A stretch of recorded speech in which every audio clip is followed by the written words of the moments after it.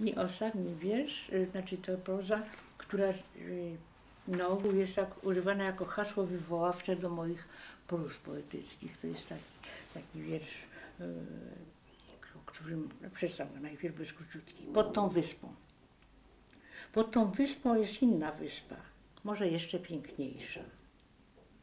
Ku niej płynie uśmiechnięta pływaczka, łącząc błyskawicznym łukiem skałę, powietrze i wodę.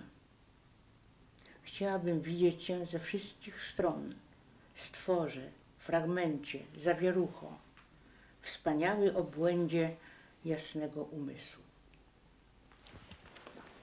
No, może już dosyć na dzisiaj.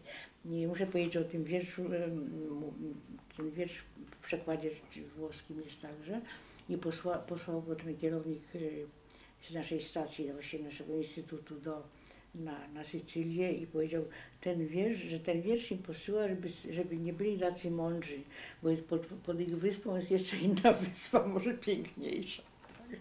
Myślę, że się na żarcie poznali.